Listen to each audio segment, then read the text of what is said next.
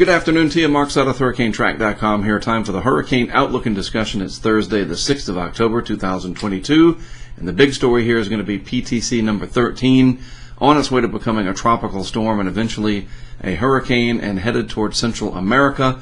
This is going to be very problematic for that area. They have been receiving the bad end of some tropical systems here over the last several years and going back through history. Uh, also, we think about Mitch back in 1998 and plenty of others. Uh, Matthew, the 2010 version of Matthew, crashed into Central America, never even made it to hurricane intensity, but it was very deadly because of that one very important impact rain and a lot of it. So let's see what we've got out there. And also at the end of today's update, I've got a nice surprise to share with you, something very exciting. All right, so looking at the Hurricane Center homepage, here's PTC 13.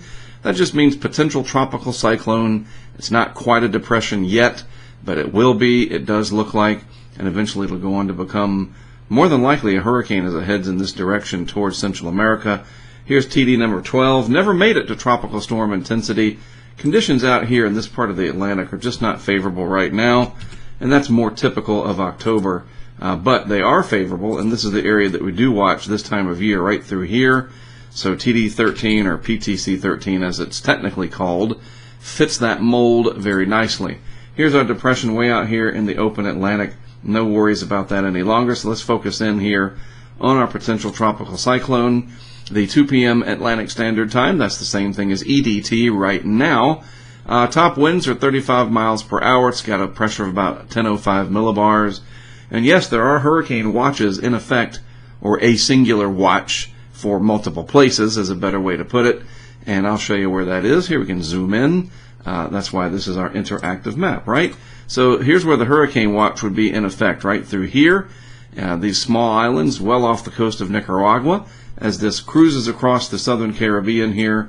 In the vicinity, of the center, and all that mess I'll show you on satellite in a moment, still really bothering Aruba, Curacao, Bonaire uh, right now with some rain and squally conditions, and that's going to trek across the southern and southwestern Caribbean and then make landfall more than likely north of Bluefields, Nicaragua, which is right here.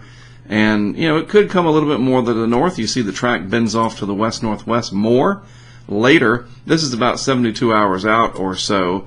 Um, so, yeah, more than likely right into Nicaragua, but if it starts to turn just a little sooner and heads more to the north, it could get closer to a landfall near Honduras. But you know what? Honestly, the coastal impacts, yes, they're going to be substantial, especially to the right or the east or the north in this case of where the center makes landfall. But this whole region is going to be in for a lot of rain. And as you can see from the map here, it's very mountainous through here. And that's going to cause a lot of problems. We've seen, like I said, opening today's discussion, rainfall has been lethal down this way. A lot of people live and work on the hillsides out in this region and they they live near the rivers, and the rivers can swell very quickly, especially if this isn't trucking through real fast. It could dump a lot of rainfall. So this is going to be more and more of a concern as we go forward. Another potential disaster in the making here in the Western Hemisphere. We saw it really bad in 2020, and uh, took the year off last year. Thank goodness. I mean, October was pretty much nothing for the Atlantic Basin for the most part last year, and this is going to make up for that, unfortunately. Okay, looking at the satellite animation this afternoon, here's where our potential tropical cyclone exists right now. Really odd to see yet another system really hugging the coast down here. A lot of these low riders as of late, I won't say a lot, but they've been more frequent than I think we are used to seeing. Ian was pretty close to the northern coast of South America. That was more down in this neck of the woods. And then now here with this next system. Uh, but by the way, once it gets named, it will be Julia that's the next name on the list. And if we go past Julia, the next name is Carl, in case you were wondering. Those, that's your answer. All right, so a close-up, true color, as we call it, almost like a visible satellite shot. I just, I really like this particular representation.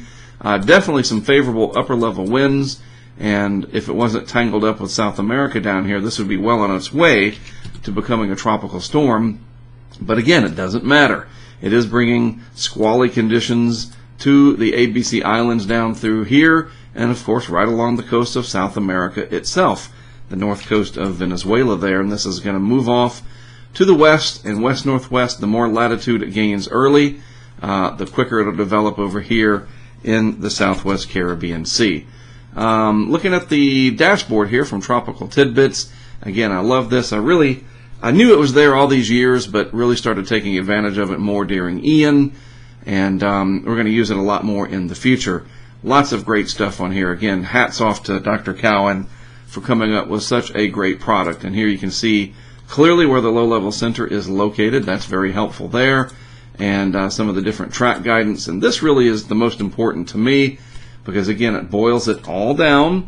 You remember during Ian, a lot of people watching the global models, the deterministic, what are each of those showing? GFS, Euro, CMC, Icon, uh, UK Met, I mean, it was just model mayhem for Ian, and for a lot of good reasons. There was a lot of spread with that. Luckily, in one regard, uh, the modeling is quite a bit less spread for this next system, especially early, a very tightly clustered envelope, as we call it. And then you can look in here and try to find the consensus that's kind of right down the middle. And it truly is, in this case, almost right down the middle of the envelope of other guidance. And that's basically right into Nicaragua here. But there is some spread here beyond the 72 hour time frame, and that makes sense because it's further out in time, so that would indicate more random processes involved that the spread starts to differ depending on the upper pattern up here to the north. Generally speaking, right now there's a nice area, as I've been showing you, of high pressure, generally outlined southwest oriented, I should say, southwest to northeast across the western Atlantic, southern Gulf of Mexico, and parts of the northern Caribbean, and that'll keep this system, what would be Julia, buried down to the south. Good news for the islands and the Gulf region to the north. Bad news, of course, for Central America. Unless these things stay out in the open ocean, they do affect somebody eventually, you know, once they make landfall, obviously. Uh, and even when they're out over the open ocean, they can cause problems to maritime interests. But I'm serious. This is really, I'm worried for people down here. I know what happens. I've seen it in the past, and that's going to be a really big issue here going across a huge landmass. Several countries are going to be impacted by this. Another pretty nasty disaster coming up over the next several days. All right, the vorticity signature. This is helpful, especially when I get to show you the model guidance here from one of the deterministic models, the Euro. There is our vorticity signature nice and round, concentrated right there again, just off the coast and straddling the coast of South America. So, does the modeling get it right? Yes, generally so. This is the ECMWF, the Euro from 12Z today. And again, this is what we call the deterministic run. It's not an ensemble. I mean, it's part of the ensembles, but this is just one run of one model. It's pretty good, though. It's got a pretty good handle on this, uh, and it's got a good initialization. There's the vorticity signature in the modeling, and it looks pretty reasonable. I think we can all agree to that. So let's move it out 24 hours. Um, now the euro is pretty aggressive here. Gets this thing starting to really come together there. Finally in the Western Caribbean, Southwest Caribbean region, definitely getting its act together even more. And then it becomes what very clearly looks like a hurricane in the model guidance here. We can switch it over to the no, it's not available on this one. It's got to be on the ECMWF and this is going back to 6Z. Yep, these new ones that Levi has done where it has the three hour increments, the higher resolution, or whatever you want to call it. That's not available yet, so that's fine. Um, oh, I do know what is available. We can look at the upper dynamics, and this guy, that'll tell us. So the pressure drops to about 983 there. I had to clearly squint there to see it. And what's troubling is it's deepening fairly quickly from the upper 990s, it looks like, mid 990s or so, strengthening all the way to landfall. And this resolution here, the global model is not necessarily a hurricane model. this tells me that this will be strengthening on the way into Nicaragua. So not only are we going to have all that rain after this makes landfall, but this is also going to be potentially a strengthening hurricane at landfall, and that is troubling to see as well. Now, certainly the good news for everybody north of it, there's that ridge sticking its nose or its thumb or whatever you want to call it right in there, keeping this thing buried down in Central America. But again, that's going to spell trouble. Uh, I know what's coming, unfortunately, for the folks down in that region. And then the Euro brings it across through Central America. Some of that energy, eventually, maybe part of it gets into the Eastern Pacific, but this whole area is just going to get drenched with a tremendous amount of rainfall. It's not until later, this is five days out, that you start to erode that ridge, but it's way far to the west. If that were to happen earlier and farther east, then it would turn more to the north. I don't see that happening. It's a little late in the game for this to happen for this system. In other words, it's pretty much destined, and even so, at day six and day seven, that ridge is still fairly potent down there. Now, it's interesting, the Euro at day seven does pop something in the western bay of Campeche, and yes, we will need to watch that to see what happens. but We'll worry about that a little bit later on. All right, let's just get through the next three to five days or so uh, with what would be Julia as it comes into Central America. Now, before I reveal this next exciting thing, um, I have become friends with some of the people that fly the planes or fly on the planes. Um, I don't think I've become friends with an actual pilot yet, but that's okay.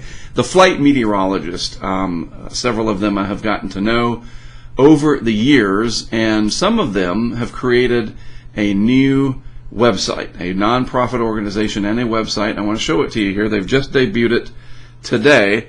And my friend Garrett from uh, out in Kansas way, uh, and some of his colleagues here, there's Garrett Black. Uh, he helped to start this with these other folks here. And these are the real live superheroes, in my opinion. Don't use that term lightly at all.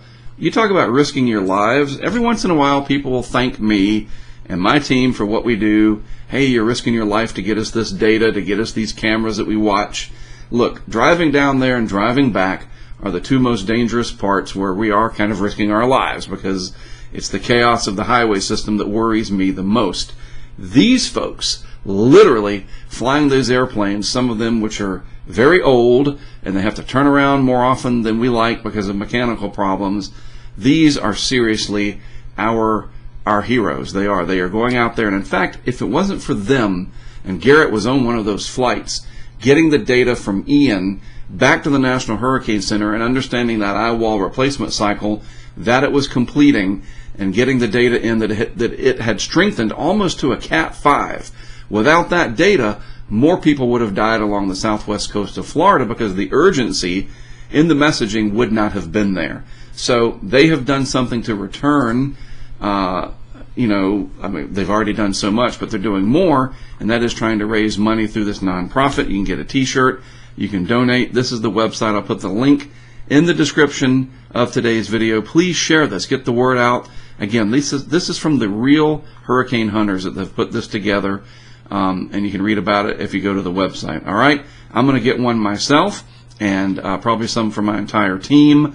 This is a wonderful thing. I'm glad they're doing this. Garrett asked me to get the word out. I'm glad to do so. Now I'm asking you to do the same. Share that across your social media and get a t-shirt. Have something, you know, Ian is a part of history. It is a negative part of history, but it's also a learning experience. It is something that we cannot deny. It happened, and it'll be something that we will remember, not in a very pleasant way. It's not like winning the Super Bowl and you've got a commemorative t-shirt. This is something very near and dear to people's hearts as part of American hurricane history. And those T-shirts will be uh, something to kind of remember that by going forward. That hopefully we can learn from mistakes made and build upon that and do better in the future. So, congratulations to Garrett and his colleagues for getting this up and running. Um, hopefully, it'll do very well. And that money, 100% of it, goes back to helping people in need from the people that help us. Uh, and they do it, you know, as part of the 53rd Weather Reconnaissance that's pretty awesome. I think you would agree. All right? All right, well, let me get this online for you, and we'll spread the word. Have a great rest of your Thursday. As always, thanks for tuning in and giving me a part of your day. I'm Mark Sudduth, Hurricane Track. I'll be back with you more tomorrow morning.